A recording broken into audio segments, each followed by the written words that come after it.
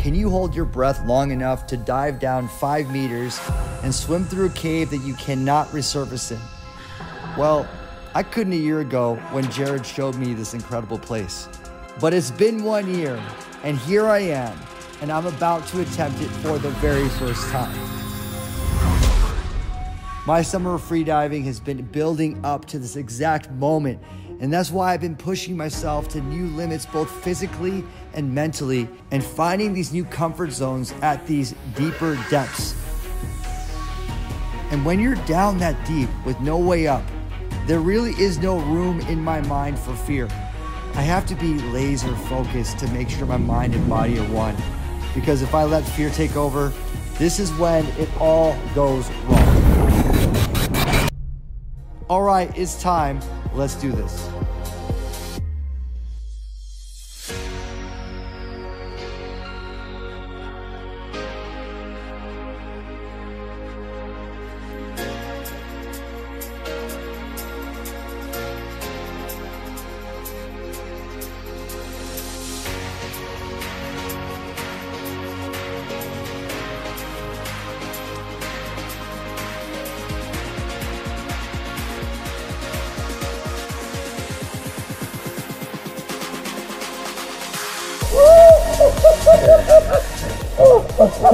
That was fucking sick. 26 oh shit.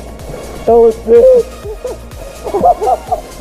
How was that shit? Fucking, it was fucking dope, right? So sick. Oh god. Uh,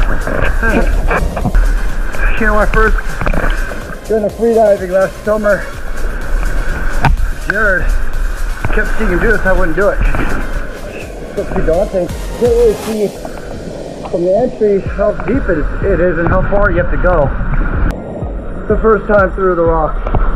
It's like a little rock island with a beautiful cave underneath.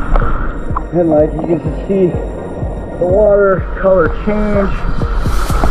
And you can see you, you, you know you're fucking under the fucking cave.